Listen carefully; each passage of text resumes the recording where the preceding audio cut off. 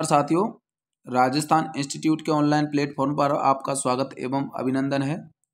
तो साथियों, आप देख सकते हो, सत्रह एक दो हज़ार बाईस, आज ही की डेट में ये प्रेस नोट जारी हुआ है। तो आप देख सकते हो, जेईएन भर्ती की विज्ञप्ति को लेकर के आज ये प्रेस नोट जारी हुआ है। तो इसमें मैं आपको बताऊँगा, विज्ञापन संख्या आपका ये दे रखा है, ज़ीरो वन ऑब्लिक दो हज़ार बाईस। और आपके लिए जो है, ये भर्ती आ चुकी है और मई 2023 में इसका एग्ज़ाम होने वाला है। तो संभावित डेट है इसकी मई। तो इसमें पोस्ट आप देख सकते हो, सार्वजनिक निर्माण विभाग के कनिष्ठ अभियंता सिविल वालों की गैर अनुसूचित क्षेत्र में तीन सौ नब्बे वैकेंसी हैं, अनुसूचित वालों की मतलब टीएसपी एरिया की बत्तीस हैं। नॉन टीएसपी की तीन सौ नब्बे हैं और टीएसपी वालों की बत्तीस हैं और कुल पद हैं सार्वजनिक निर्माण विभाग में चार सौ बाईस। जन स्वास्थ्य अभियांत्रिकी विभाग में कनिष्ठ अभियंता सिविल वाले के एक सौ छियानवे पद और टीएसपी में आठ पद टोटल दो सौ चार। कनिष्ठ अभियंता, सिविल डिप्लोमा धारक के छियानवे पद, पाँच टीएसपी में और टोटल एक सौ एक पद। और कनिष्ठ अभियंता यांत्रिकी मतलब मैकेनिक्स जो है, वो उसमें सैंतीस पद और नॉन टीएसपी में निल हैं, बिल्कुल भी नहीं है। टोटल सैंतीस पद हो गए और कनिष्ठ अभियंता, यांत्रिकी, विद्युत डिप्लोमा वालों की छब्बीस और टोटल छब्बीस हैं। टीएसपी एरिया में इसमें है नहीं। स्वायत्त शासन विभाग जो है, इसमें कनिष्ठ अभियंता के एक सौ तैंतालीस में दो और टोटल एक सौ पैंतालीस पद। कनिष्ठ अभियंता, सिविल डिप्लोमा धारक छत्तीस और यहाँ पर टोटल छत्तीस हैं। टीएसपी में यहाँ पर नील दिखा रखा है। ये हैं स्वायत्त शासन विभाग में। तो इस प्रकार आपको कनिष्ठ अभियंता जो है विद्युत वाले के चंबालीस पद, कनिष्ठ अभियंता विद्युत वाले जो डिप्लोमा धारक हैं उनके ग्यारह और यहाँ पर भी ग्यारह पद हैं। तो ये आप देख सकते हो। टोटल जो पद हैं वो यहाँ पर आप देख सकते हो। एक हज़ार बानवे पद आपको दिख रहे होंगे, जिनमें एक हज़ार बानवे में से एक हज़ार चालीस तो हैं नॉन टीएसपी के और बावन पद हैं टीएसपी एरिया के। तो ये हो गए नॉन टीएसपी वालों के, जो जनजातीय क्षेत्र में नहीं आते हैं। और जो जनजातीय क्षेत्र में हैं, उनके बावन पद हैं और टोटल इस भर्ती में एक हज़ार बानवे पदों पर ये भर्ती होगी। तो यहाँ पर आप देख सकते हो ऑनलाइन आवेदन आप ई मित्र वाले पर जा के करवा सकते हो।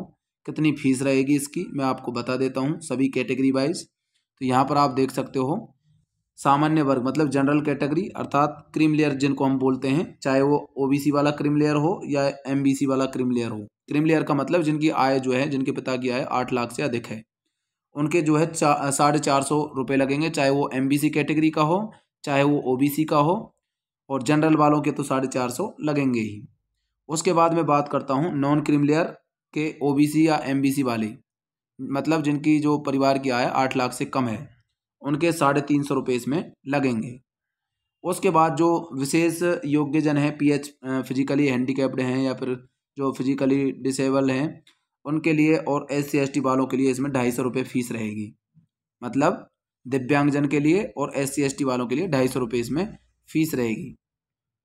तो ये आपकी जो है, इसमें पारिवारिक आय के हिसाब से इसमें फॉर्म आपको लगाने होंगे, लेकिन इसमें आप देख रहे होंगे कि कार्मिक विभाग के परिपत्र क्रमांक यहाँ पर दे दे रखा है कि सभी वर्ग के ऐसे अभ्यर्थी जिनके परिवार की वार्षिक आय ढाई लाख रुपए से कम है, के लिए अनुसूचित जाति या जनजाति के समान ही परीक्षा शुल्क रुपये ढाई सौ रुपये दे है।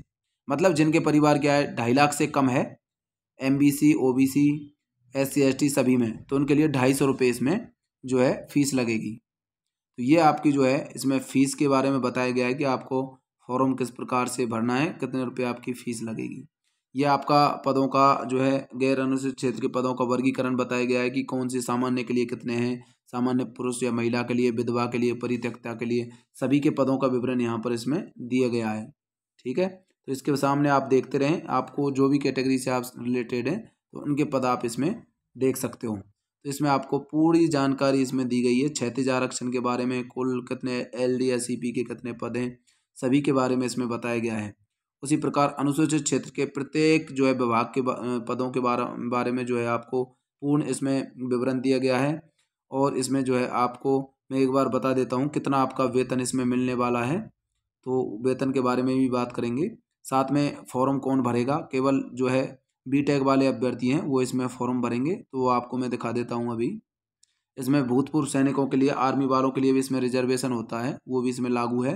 साथ में इसमें स्पोर्ट कोटा वाले जो हैं, उनके लिए भी इसमें जो है, पद जो है अलग से हैं, दो परसेंट पद हैं। टोटल मतलब जैसे सौ पोस्ट हैं तो सौ में से दो जो है स्पोर्ट वाले लगेंगे।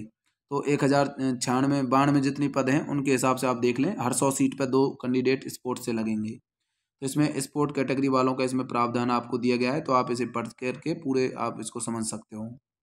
साथ में आप कौन कौन से जो है, आपने कहाँ कहाँ पर मेडल जीता है, उनके बारे में इसमें जानकारी दी गई है। इनमें आपने यदि मेडल जीता है तो आपको दो परसेंट का लाभ जो है, ये दे रहेगा। साथ में आपको मैं एक बार आपको बता देता हूँ, दिव्यांगजन के लिए भी इसमें जो है चार परसेंट आरक्षण का प्रावधान किया गया है। ठीक है?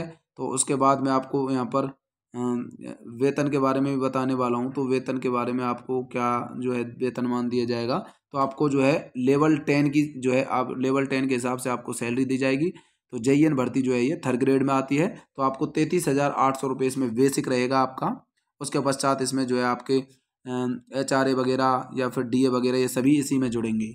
ठीक है? उसके बाद आपकी सैलरी इकतालीस बयालीस हज़ार के आसपास रहेगी, प्रोबेशन पूरा होने के बाद। ठीक है? तो ये आपका वेतनमान रहेगा। यहाँ पर आपको तैंतीस हज़ार आठ सौ बेसिक एल टेन में आप आते हैं तो थर्ड ग्रेड टीचर के बराबर ये सेम टू सेम सैलरी है यहाँ पर। और पात्रता के लिए जो है आपको यहाँ पर बताया गया है कि कौन से उसमें आपको क्या डिग्री चाहिए। तो यहाँ पर आपके सभी जो है सिविल वालों के लिए भी इसमें डिग्रीधारियों के लिए भी बताया गया है कि भारत में विधि द्वारा स्थापित विश्वविद्यालय या मान्यता प्राप्त संस्था से सिविल यांत्रिकी में डिग्री या सरकार द्वारा समतुल्य घोषित अर्हता देखना अपनी लिपि में जो है हिंदी का व्यवहारिक ज्ञान और राजस्थान संस्कृति का आपको ज्ञान होना चाहिए। उसी प्रकार कनिष्ठ अभियंता सिविल डिप्लोमाधारी के बारे में इसमें बताया गया है। उसके बाद आपको कनिष्ठ अभियंता विद्युत के पदों के बारे में, कनिष्ठ अभियंता विद्युत डिप्लोमाधारी के पदों के बारे में, सभी की इसमें क्वालिफिकेशन आपको दी गई है। आप वीडियो को पॉज करके इन सभी को पढ़ सकते हो कि आपको जो है किससे फॉर्म लगाना है। उन सभी की आपको योग्यता के बारे में यहाँ पर बताया गया है। जिस विभाग से भी आपको इसमें फॉर्म लगाना है, सभी की जानकारी आपको मैंने इसमें जो है दे रखी है। तो यहाँ पर आप देख सकते हो, सब कुछ यहाँ पर आपको विज्ञप्ति में मिल जाएगा। ये आपके जो है पूरी जानकारी है। आपको जो है चरित्र प्रमाण पत्र, स्वास्थ्य प्रमाण पत्र, ये सभी ज्वाइनिंग के टाइम चाहिए होते हैं। और ये फ़िलहाल के लिए जो है आपको कोई ऐसी आवश्यकता नहीं है। आयु इसमें जो है आपको मिनिमम अठारह साल का होना चाहिए, अधिकतम चालीस साल तक, ठीक है? और ये भी एक जनवरी 2023 तक आपकी अठारह साल हो रही है तो आप इसमें फॉर्म भरने के लिए पात्र हो। उसी प्रकार सभी भर्तियों में एक जनवरी 2023 तक आपकी एज अठारह हो रही है तो आप फॉर्म भरने के लिए एलिजिबल एलिजिबल रहोगे। जैसे कि लेबर असिस्टेंट, लाइब्रेरियन, जितनी भी भर्तियाँ आने वाली हैं, सभी में एक जनवरी 2023 तक यदि आपकी आय अठारह आपकी आयु अठारह साल हो रही है तो आप फॉर्म भरने के लिए योग्य हो। तो ये पूरी आपकी जानकारी इसमें आपको दी गई है। तो यहाँ पर आप देख सकते हो। यहाँ पर आपकी पूरी जो है, यहाँ पर आप इसको देख देख सकते हो, वीडियो को पॉज कर सकते हो। तो यहाँ पर आपको पूरी जानकारी इस विज्ञप्ति में दी गई है। पेंशन आपको इसमें जो है अंशदायी मिलेगी। बाकी और तो इसमें आपके परीक्षा का जो संभावित डेट है वो मई मई दो हज़ार बाईस है यहाँ पर। तो मई दो हज़ार बाईस में आप देख सकते हो फॉर जो है आपके पेपर हो सकते हैं। तो ये आपकी जो है पूरी जानकारी है इस भर्ती के बारे में। तो दोस्तों, आशा करता हूँ कि ये वीडियो आपको पसंद आया होगा। वीडियो पसंद आया हो तो चैनल को सब्सक्राइब करना ना भूलें और वीडियो को लाइक भी करें, जिससे आपको हर प्रकार की अपडेट हमारे चैनल पर समय पर मिलती रहे। यहाँ पर हरिप्रसाद शर्मा के अध्यक्ष अध्यक्ष जो है, उसके यहाँ पर साइन साइन आपको दिख रहे होंगे। धन्यवाद।